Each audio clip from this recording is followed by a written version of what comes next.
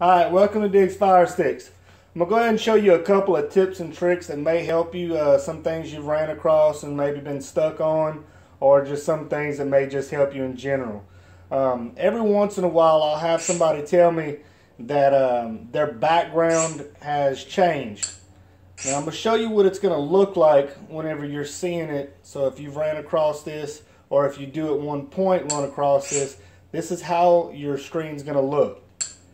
So whenever you come to it, it's going to look something like this. You're like, man, my stuff was there a minute ago.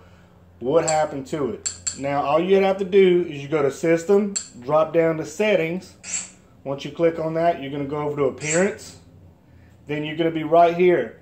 Over here, you're going to see Skin, then Confluence. You click on Confluence.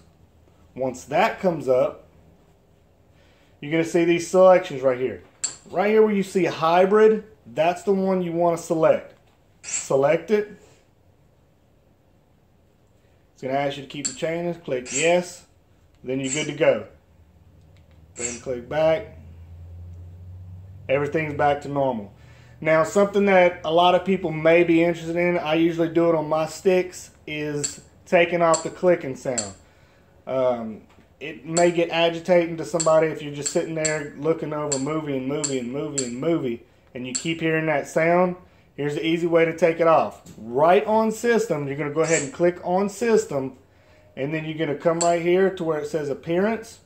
Click there. Now you're back to where you had did the stuff before.